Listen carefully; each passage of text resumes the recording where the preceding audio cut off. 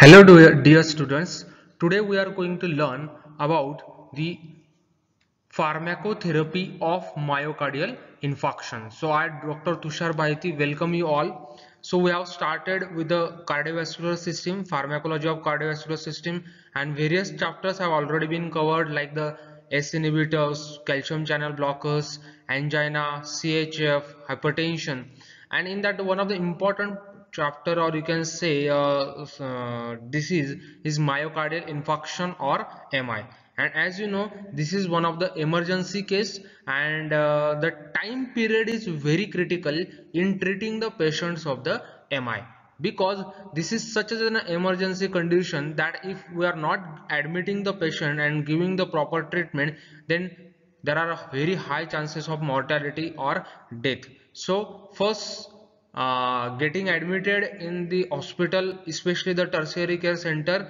So bringing the patient uh, diagnosing the patients of the myocardial infarction at uh, any level at a primary level or any level and then referring them immediately to the tertiary care center especially within one to two hours okay?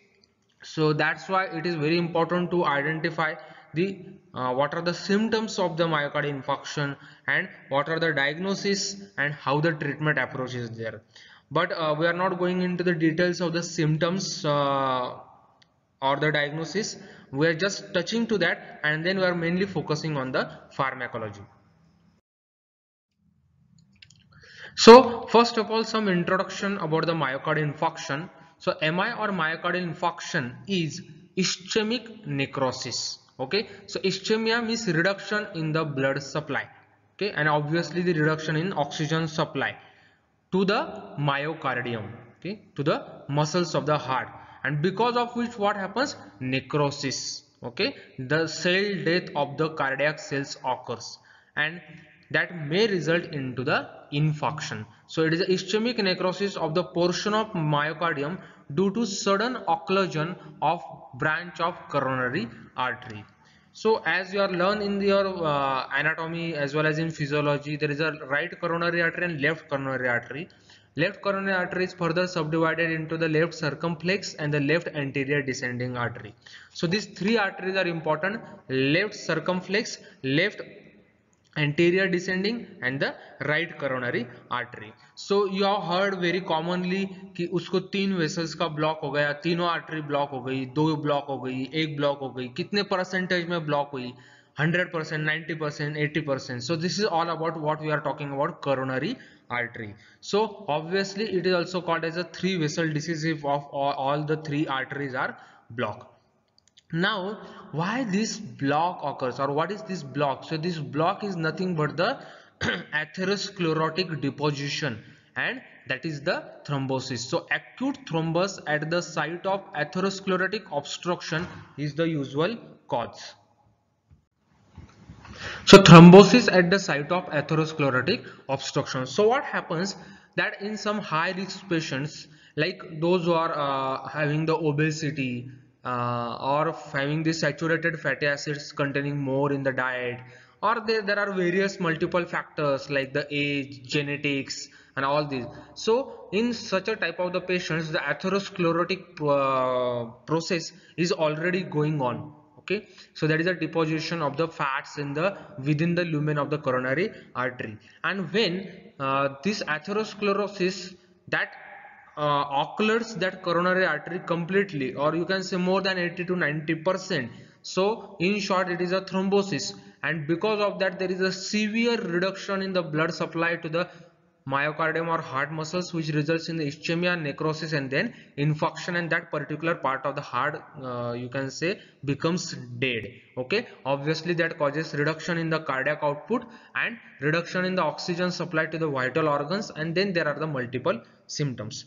So about what is more important about one fourth of the patient that is 25 percent of the patients die before the therapy can be instituted? Because this is a very acute process and heart is a very vital organ to supply the blood to all the other organs. So if obviously there is a uh, infarction in the heart muscles the supply to the other or vital organs gets decreased and the patients may get died that's why a time period that I earlier told you is very critical in treating the patients of the myocardial infarctions.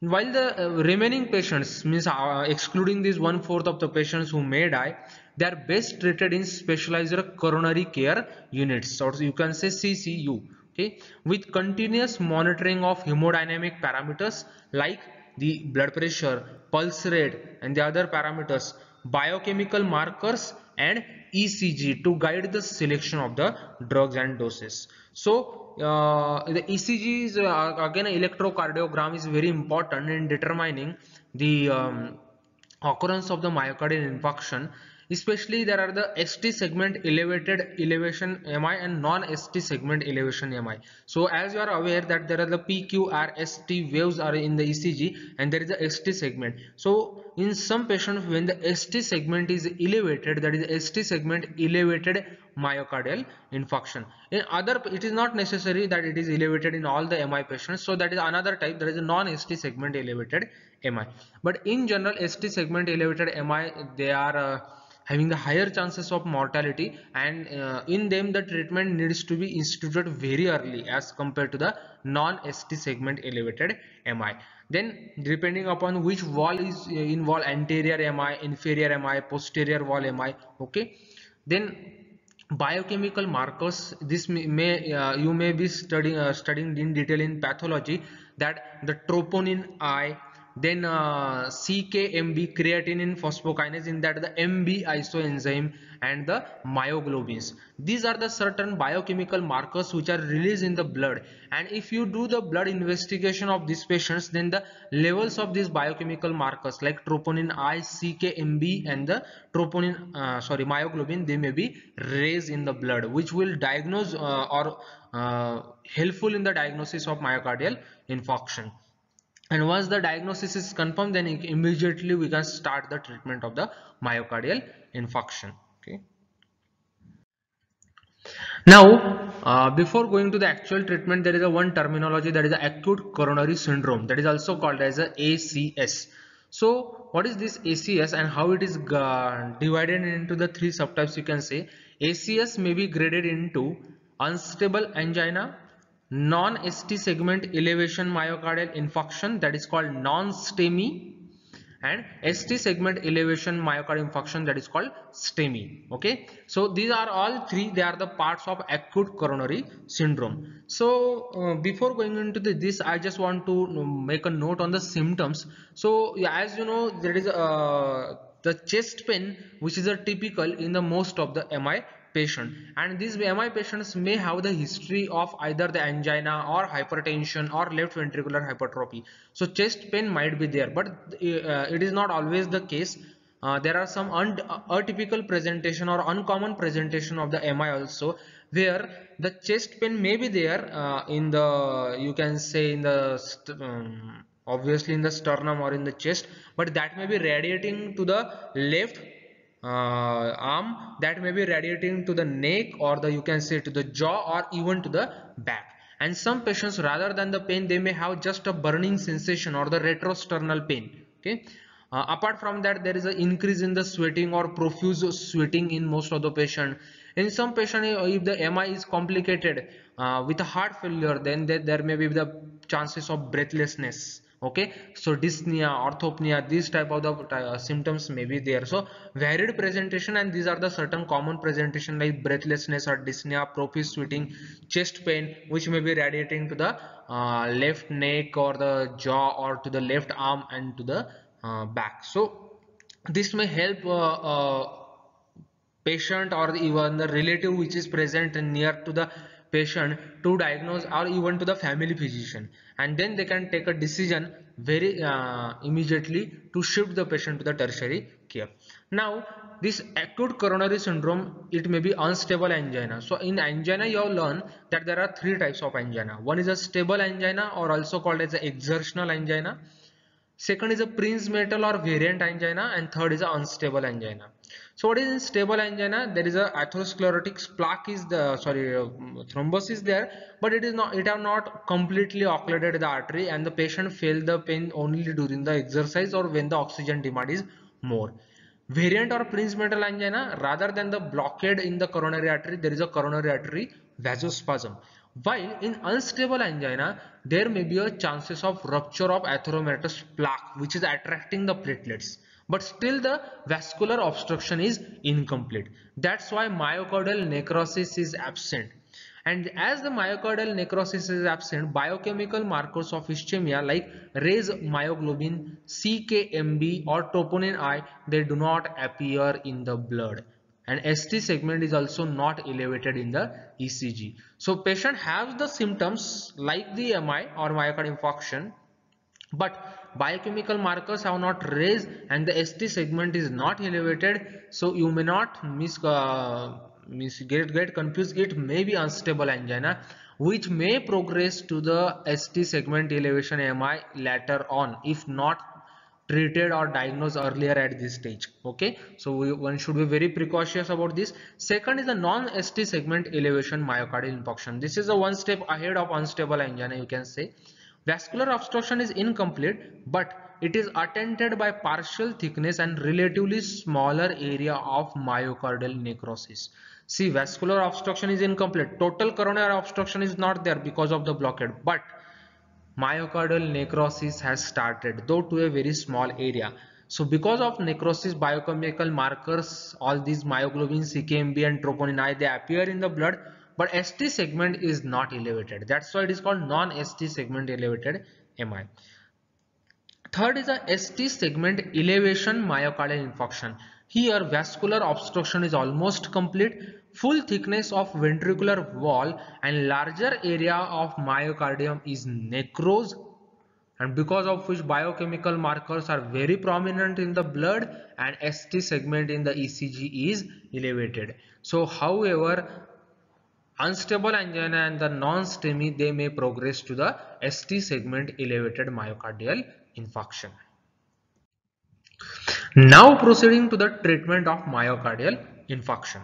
So first is the uh, as you know there is a very severe type of the pain which is described as a crushing type of the pain unbearable intolerable type of the pain so what treatment we are giving to reduce the pain as well as anxiety and apprehension? Because as it is an emergency the patient is very anxious and apprehensive.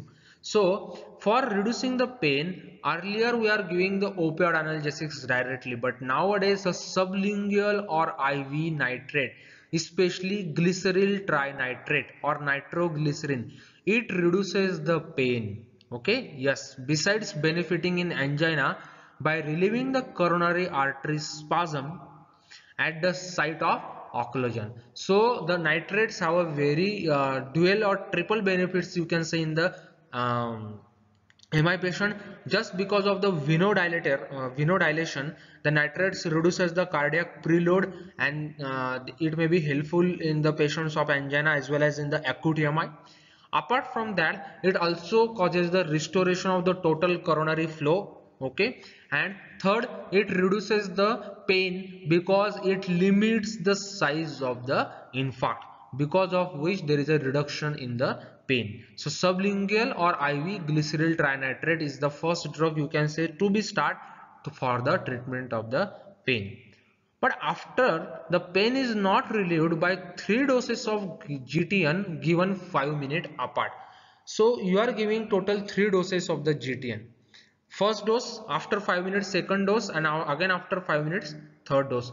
Uh, especially the 0.5 milligram. Okay but if the pain is not relieved still after the three doses then we are uh, we have to give opioid analgesics in that either we can give morphine 4 to 8 milligram or pethidine 50 to 60 milligram okay mostly they are given as a intravenous treatment rather than the intramuscular. So morphine or pethidine these opioid analgesics are preferred in the given doses and they can be given along with the anti-emetic because there are the chances of the uh, vomiting also with uh, morphine and the pethidine. That's why anti-emetic like domperidone or metoclopramide should be given up, uh, along with them. Okay? So this is how the pain is controlled apart from the uh, pain opioid analgesics can also reduce the anxiety and apprehension okay? Uh, if the still anxiety and apprehension is there so uh, we can give the benzodiazepines drug like diazepam or alprazolam especially to reduce the anxiety. Once you because there may be the sweating there may be tachycardia and this may further deteriorate the condition. That's why we have to reduce the anxiety because anxiety is manifested through the sweating palpitation tremor okay? So we have to control the anxiety level okay? So diazepam or alprazolam can be given. Next thing which we can we have to look over is the oxygenation. So oxygen should be given by inhalation or it can be given with the assisted respiration if needed not necessary in all patients okay? Mostly low ox low flow oxygen therapy should be given uh, you can say 2 to 4 liter per minute okay so this is a low flow oxygen therapy that should be given if oxygen saturation is dropping and dyspnea or breathlessness is happening. Uh, next is a maintenance of the blood volume, tissue perfusion and micro circulation. So obviously because there is a reduction in the cardiac output as the myocardium cells are damaged so the most of the vital organs they are not getting the proper blood supply or uh, you can say blood perfusion tissue perfusion is not happening and blood volume is also low. So at such a times we have to give the slow iv infusion of either the normal saline that is a 0.9 percent of the NaCl or we can give the dextrose. But at the same time we have to avoid the volume overload okay? So uh, if the congestive heart failure is pre also present along with the mi see most of the time mi is uh, complication of the some of the cardiac diseases which are presented also uh, uh simultaneously or previously like hypertension or you can say congestive heart failure or any valvular heart diseases. So at a, such a times we have to take into consideration the other diseases also. So especially in the chf patient we don't have to give the too much volume uh, as the volume is already there more there. Then fourth is a correction of acidosis. In most of the patients of the myocardial infarction acidosis occurs. That is a slight decrease in the uh, most of the time decrease in the pH because of lactic acid production. As the muscles get damaged the lactic acid production or it is released more in the blood and at such a time to correct that acidosis we have to give the alkaline uh, solution of substances like IV sodium bicarbonate infusion. So that may be given to control the acidosis. Next is a prevention and treatment of arrhythmia. So most of the times when the MI happens there are the chances of the disturbances in the conduction system so either there is a tachyarrhythmia or bradyarrhythmia increase in the heart rate too much uh, which may be associated with some atrial fibrillation ventricular fibrillation or there may be some bradyarrhythmia like the atrioventricular block that is a partial or complete heart block. So rather than mi most of the patients they died because of the arrhythmia. So we have to give certain medications simultaneously to control this arrhythmia and arrhythmia are mostly diagnosed with the ECG easily okay apart from the heart rate. So if there are no contraindications prophylactic administration either IV or oral of a beta blocker okay? And which beta blocker is mostly preferred? Metoprolol okay? Others can be preferred but metoprolol is generally preferred. So the prophylactic administration of beta blocker as soon as the MI patient is seen and its continuation orally for a few days. So we have to give the IV administration of metoprolol uh, during the hospital stay of the patient. And uh, we can uh, uh shift to the oral if the patient condition is stabilizing. And even he can continue the oral metoprolol like tablets at uh, his home after for few more days. Okay? Why these beta blockers are administered? There are the various reasons. First to reduce the incidence of arrhythmia like ventricular fibrillation. As you know the beta blockers they are causing the decrease in the heart rate because they are decreasing the conduction system. So in some patients of ventricular fibrillation they are very much important. Also beta blockers which are give, used in the evolving mi evolving mi means the uh, the thrombus is there and it is mm, uh, spreading more now okay? Or the infarction which is limited to the particular area of the heart that is now spreading in such a patients if we are giving the early uh, iv infusion of metoprolol it can reduce the infarct size which is also called as a myocardial salvage salvage means बचाना means जितना myocardium है उसको बचा रहे हम इनफाक्ट की size को कम करके okay and again subsequent complications obviously like ventricular fibrillation और other complications they can be stop so why the beta blockers are important first because they are uh, reducing the infarct size then they prevent the uh, chances of the arrhythmia like ventricular fibrillation also the beta blockers prevent the chances of reinfarction that is a second attack of mi आप बहुत बार सुनते होंगे कि M का attack आके गया एक बार okay means एक बार MI हो चुका लेकिन ट्रीटमेंट वगैरह लिया पेशेंट रिकवर हुआ वापस सेकंड टाइम एम का अटैक आया तो ये सेकंड टाइम आने के chances they are reduce if the patient is on the drug like the metoprolol but in such a patient cases we have to continue very long term therapy of the metoprolol as well as some other drugs like the aspirin or the antiplatelet drug in order to reduce the chances of the infarction okay for the second time. Then there are certain contraindications for the beta blocker. So beta blockers should be avoided in a patient whose heart rate is below 50 beats per minute because they are already decreasing the conducting system or causing the bradycardia if the patient heart rate is below 50 then they may cause this. The total or complete blockage of the uh, this conduction system or total you can say complete block AV block that is dangerous patient may die. So not uh, given in such a patient. Systolic BP if it is less than 100 mg beta blockers are not given because they are antihypertensive they further causes the fall in the blood pressure. And those patients are already suffering from bronchial asthma CHF or atrioventricular block okay? In such a patients uh, we have to avoid the beta blockers. Tachyarrhythmia may be treated with iv lignocaine procainamide or amiodarone. Uh, we are going to learn about the uh, arrhythmia in detail in the chapters of arrhythmia. But as you know tachyarrhythmia so there are the certain drugs like lignocaine or lidocaine procainamide or amiodarone they can be administered only if there are the evidence of tachyarrhythmia on the basis of the ECG okay? Routine prophylactic lignocaine infusion which was advocated earlier it is not recommended nowadays. At the on, on the other hand if there is a bradycardia and heart block it may be partial or complete AV block it may be managed with atropine. Because you know atropine is the drug which causes the tachycardia or increases the heart rate. So it may be useful in the bradycardia and heart block patient to increase the heart rate or we can give the electrical pacing. Okay? So this is how we can going to manage with the arrhythmia. Next is a pump failure. The objective is to increase the cardiac output or decrease the filling pressure without unduly increase the cardiac work or lowering the. So two types of the drug you can say. One which can increase the cardiac output or the inotropic agents and one which can decrease the filling pressure okay?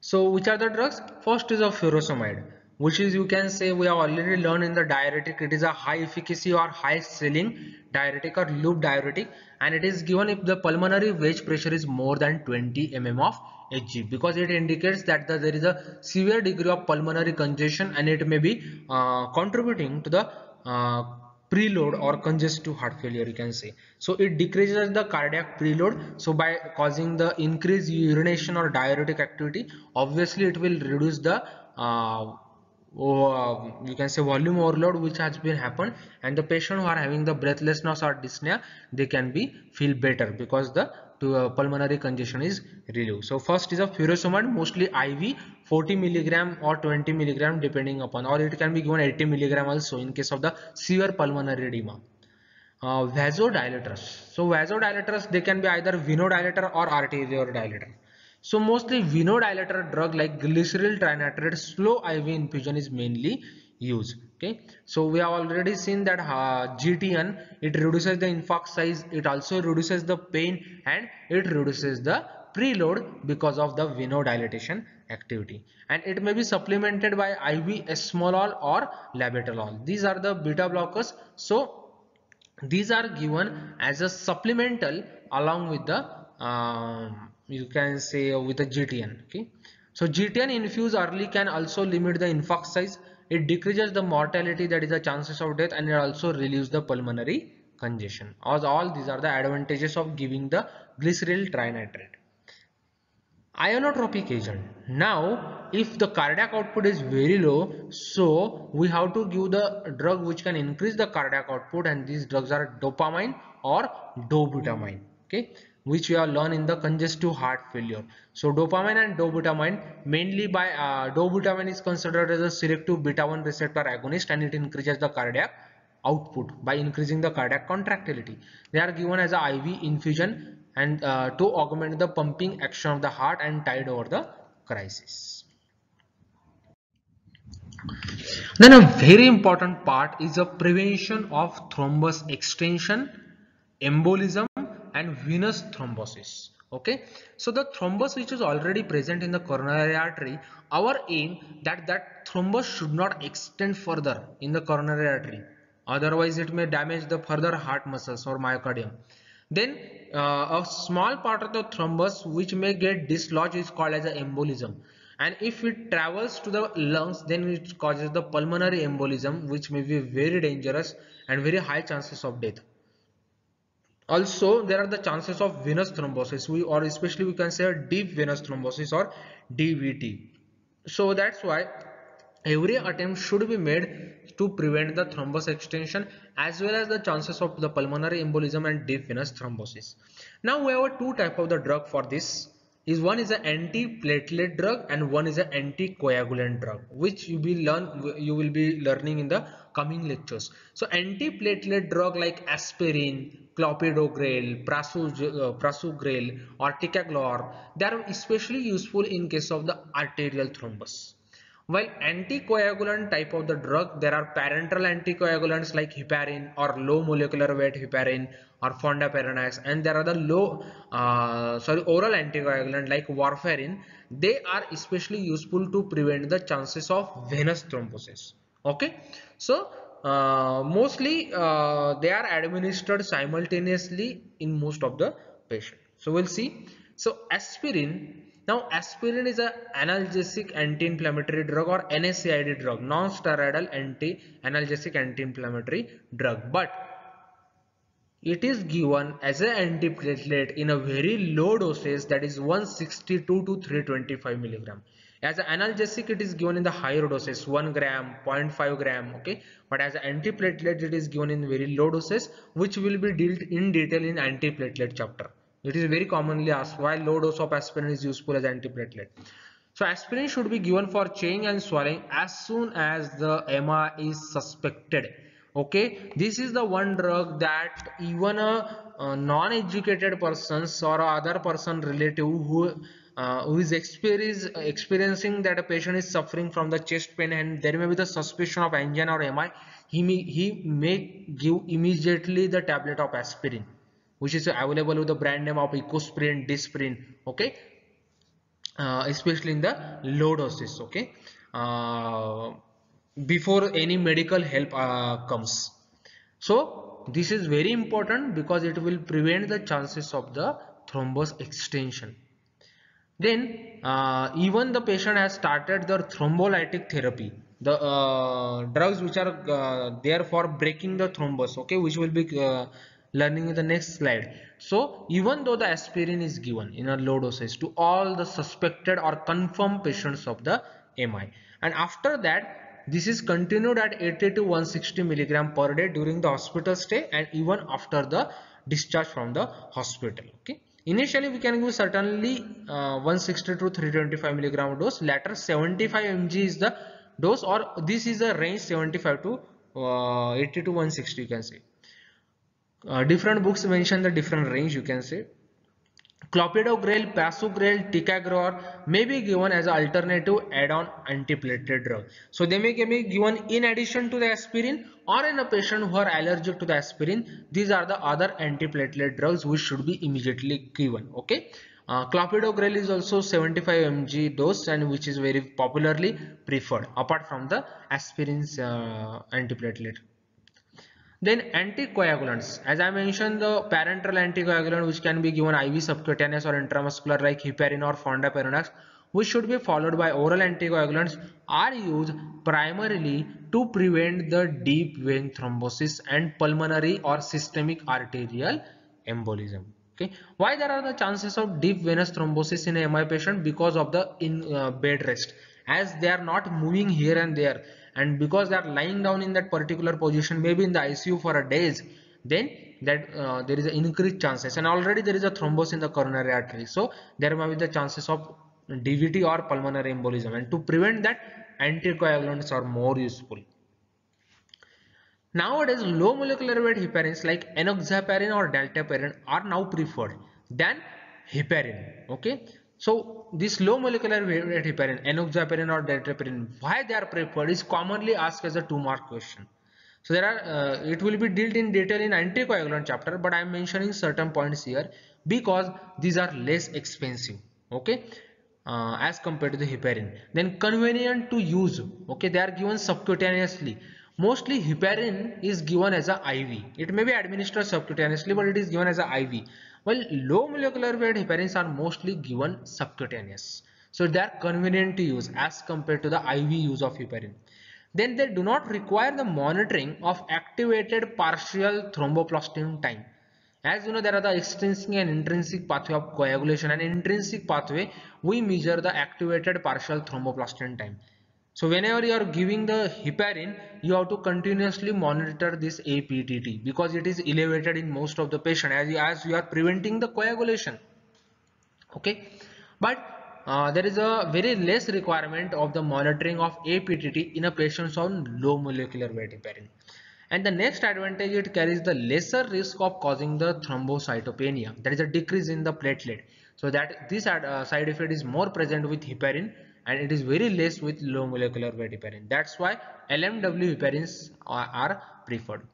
But any benefit is short term with anticoagulant. Anticoagulants are not prescribed on long term basis. They are given especially for the first 7 to 10 days. Okay, not beyond that because there are the higher chances of bleeding as you are preventing the coagulation the second side effect which arises is the bleeding okay that's why we have to not give for the long term Next is a thrombolysis and reperfusion. This can be dealt in detail uh, in the blood thrombolytic or fibrinolytic agents which one which causes the breakage of the thrombus or the uh, you can say uh, clot and causes the reperfusion so thrombolytic therapy it reduces the mortality that is the chances of death and it limits the infarct size in a patients with acute myocardial infarction. So this is also apart from aspirin one of the preferred treatment to get started. But here the time period is very critical about starting this treatment. The greatest benefit occurs if the treatment is initiated within first 3 to 4 hours. Especially if within the first 1 hour we institute uh, the thrombolytic agents there are very high chances of the survival. In the first 3 to 4 hours, the chances are 50 to 60%. Benefits decline rapidly thereafter. Okay, as you are delaying the approach, uh, starting of this treatment, obviously benefits gets decline and the chances of mortality are more. 10% reduction in the mortality can still be achieved up to 12 to 14 hours after the onset of chest pain. So after the onset of chest pain, if the 12 hours have elapsed, still you can give the thrombolytic therapy. Still it can give the 10% reduction in mortality. Okay? But there are the certain contraindications for these drugs which should be uh, which, which which will be discussed in detail in the blood. Fibrinolytic agents. So which are the fibrinolytic agents which causes the plasminogen activator? Now what is present in the blood clots? There is a fibrin. So we have to break the fibrin how the fibrin is broken down? Plasminogen is present in our plasma and that is an inactivated form. This plasminogen activator is there which causes the activation of plasminogen into plasmin and that plasmin causes the breakage of the fibrin into the fibrin degraded products or fibrin fragments and that's how the clot is broken.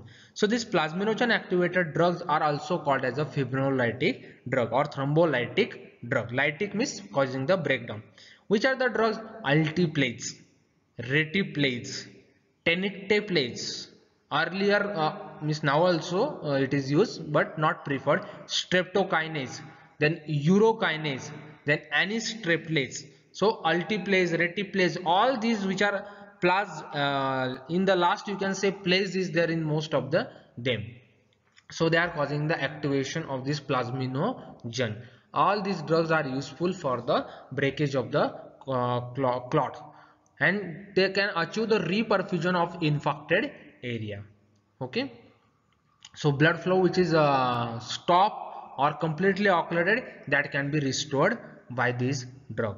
But they are indicated only in the STEMI that is the ST segment elevated MI okay? In non-STEMI they are given only in high risk cases otherwise not. Okay because there are the chances of bleeding and the side effects also with this drug unless the thrombolysis can be started within 1 to 2 hours of a MI symptom onset primary percutaneous coronary intervention that is a PCI with stenting is now the preferred revascularization procedure. Now what is this? That uh, you have heard about the angioplasty and this angioplasty angio means vessels plasty means reconstruction. So this is a primary percutaneous coronary intervention. So jahan pe block hai us coronary artery mein what we are doing? We are inserting a stent to cause the dilatation of that particular coronary artery area and we are inserting the stent there. And this procedure is called angioplasty or primary percutaneous coronary intervention. So if the patient has come to the hospital after one hour or two hour so rather than thrombolytic therapy primary percutaneous coronary intervention or angioplasty is the preferred procedure for reperfusion or revascularization okay so जो block हुआ है उसको वापस से ये करने के लिए तो ये prefer किया जाता है angioplasty uh, there is another third procedure which is you, you you have heard mostly that is a bypass that is also called as a CABG that is a coronary artery bypass grafting in that you know some part of the veins like the uh, saphenous vein especially uh, has been taken and that is grafted to the coronary artery and bypass is uh, created so जो जहाँ पे block है coronary artery वहाँ को वहाँ पे आप कुछ ना करते हुए आप क्या कर रहे हैं बाईपास रोड क्रिएट कर रहे हैं ब्लड को फ्लो होने के लिए that is called as a bypass operation so obviously in a patient where it is possible and uh, there are the certain pros and cons of all this so coronary artery bypass grafting can be preferred if the angioplasty is not feasible or not giving benefits too much. So these are the three approach. Thrombolytic therapy angioplasty or percutaneous coronary intervention and bypass or coronary artery bypass grafting now certain uh, uh, in short with the drugs alteplase uh, in in detail it is discussed uh, obviously in the blood it will be discussed in the blood. So alteplase it is obtained by recombinant dna technology. So it is a, have a shorter t half and it has show a higher incidence of early reocclusion. So this is a uh, uh, you can say one of the side effect that there may way chances of रीऑक्लोजन आपने एक बार दिया artery का block remove करने के लिए thrombus को break करने के लिए, लेकिन वापस से ब्लॉक हो सकता है। That is called reocclusion and that is one other one of the side effect of all the therapies even the angioplasty bypass grafting और thrombolytic therapy So, there are the chances of early reocclusion and because of that IV heparin is also given concomitantly, simultaneously, along with the altiplex. But this may be increasing the chances of bleeding okay reteplase this is a recombinant tissue plasminogen activator okay r start from this re, uh, recombinant related to the alteplase but it has a longer half-life as compared to alteplase and it is administered as a two bolus injection at a 30 minute apart दो bolus injection देने 30 minute के gap से tenecteplase it is a genetically engineered mutant of mutant of alteplase it has a longer half life and it has an increased fibrin sensitivity means it is causing the degradation of the fibrin which is already only present in thrombus and not the fibrin which is circulating in the plasma that is called fibrin specificity and it is given as a single bolus injection as compared to the reteplase जहाँ पे दो bolus injection देने streptokinase which is an earlier drug to be discovered uh, obtained from beta hemolytic streptococci but it is a less specific for the clot and as it is obtained from streptococci which is a microorganism there are very high chances of hypersensitivity reaction as to at least in 2% of patients. And one another disadvantage of streptokinase the uh, second dose is mostly not able we are not able to give because when we are giving the first dose antibodies have already been uh, create uh, uh, occurred or you can say form in the blood against the streptokinase. So second dose is not been be effective because the already antibodies have been formed. Except streptokinase all preparations like alteplase reteplase tenecteplase they are very costly. Roughly it is 30000 to 40000 uh, rupees cost per injection of this drug Next is a prevention of remodeling and subsequent CHF.